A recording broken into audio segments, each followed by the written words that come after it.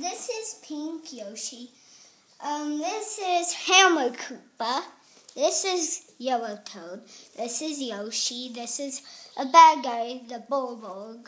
This is Koopa, the, one of the bad guys, and this is the final boss of the game, Bowser. This is Daisy, Mom. This is bad. This And- Daisy. And and this is Wario and Ju- Bowser Jr., Goomba, the brown guy, um, Princess Daisy, Ruby from Pikmin, and green Pikmin, red Pikmin, and a blue Pikmin, Princess Peach, Rock Pikmin, Mario, Piranha Plant.